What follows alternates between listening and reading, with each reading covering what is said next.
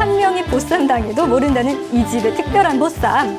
우선 돼지고기는 결이 곱고 다몽색을 띠는 신선한 것으로 준비를 하고요. 냄새를 없애는 소립과 건강을 챙겨주는 한약재가 첨가해 삶아주면 된답니다. 두 차례에 걸쳐 육수를 몸에 담갔다 뺐다를 반복하고 드디어 세상에 빛을 본 보쌈고기. 자, 이제 먹음직스럽게 담아내기만 하면 되는데요. 설림 육수 덕분인지 윤기가 자르르 흐르네요. 건강한 소립 알고 먹으면 더 유용하겠죠? 고혈압, 당뇨, 니코틴 제거, 그다음에 독소 제거, 그다음에 여러 가지 필수 영양 그 아미노산, 그다음에 무기질 같은 것들이 많이 들어가 있죠. 자, 이제 보쌈을 거두는 비밀 병기를 공개할 차례입니다. 아까 사장님께서 소개해 주셨듯이 평범함을 거부한 해물 솔잎 보쌈이지 않습니까? 이곳에선 동해 바다에서 나는 제철 해산물이 아낌없이 제공되고 있는데요. 가리비며 오징어와 문어 숙회, 고소한 홍게까지 그야말로 눈이 번쩍 뜨입니다. 아니 어떻게 이런 기발한 생각을 하셨대요? 보통 이제 보쌈 하면은 그냥 단순하게 김치에 싸 먹는 이제 이런 것으로만 이제 알고 있는데 그 이제 보쌈과 바닷가에 나는 그 해물들을 결합해서 다양하게 먹을 수 있게끔 네, 그렇게 하다 보니까 이렇게 만들게 됐습니다.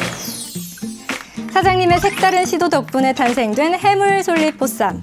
보쌈계의 차별화를 선언하고 푸짐하게 또 골라 먹는 재미까지 더불어 감동을 주고 있습니다. 두 번 말해 무엇 하겠습니까? 직접 먹어봐야 그 맛을 알겠죠. 크게 한쌈 싸서 입으로 직행 손이 쉴 틈이 없습니다. 각자 취향에 맞춰서 골라 먹을 수 있으니 남녀노소 누구나 찾게 되는 맛이라고 하는데요. 자 이제 그만들 드시고 증명을 해주셔야죠. 바빠요 드시느라. 담백하고 고소하고 소량이 약간 가미가 돼서 먹기가 좀 편한 것 같아요. 골고루 영양식으로 문어나 오징어나 뭐 새우나 이런 게 종류로 다양하게 먹을 수 있어서 좋은 것 같아요. 우리나라의 여름 보양식은 특히 뜨거운 국물 요리가 많은데요. 이열치열, 땀을 흘려가며 먹어야 제맛인 삼계탕을 빠르게 추격하고 있는 오늘의 두 번째 메뉴 직접 공개해 주시죠. 오리예요, 오리. 오리탕. 이 오리탕 중에서도 이 들깨로만 만드는 게 아주 보양식이야 이게. 손님들 칭찬이 자자한 오리탕. 과연 어떤 비결이 숨겨져 있는 걸까요?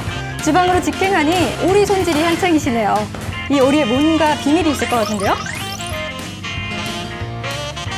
예, 오리는 태어나서 3개월에서 4개월 정도 되었을 때 음, 보통 2kg 정도 된 오리를 사용하고 있습니다.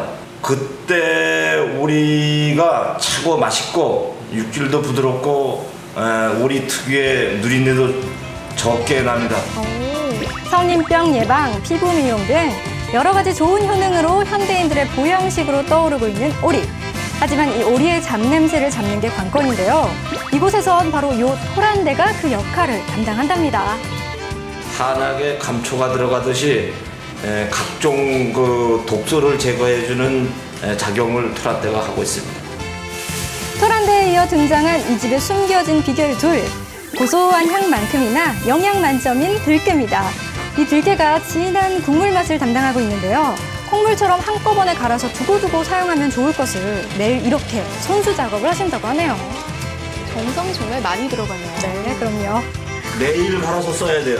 이게 깨가 금방 상하기 때문에 이 깨 육수물이 매일 갈아서 써야 돼요. 그때 그때.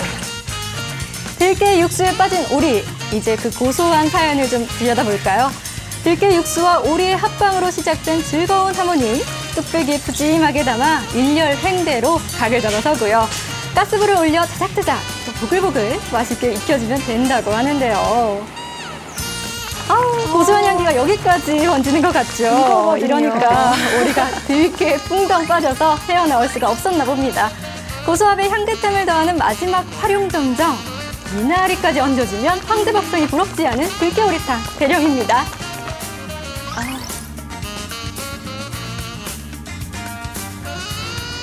구수하면서도 시원한 들깨 육수에 독소를 품은 몸에 나쁜 육수들은 이제 안녕입니다.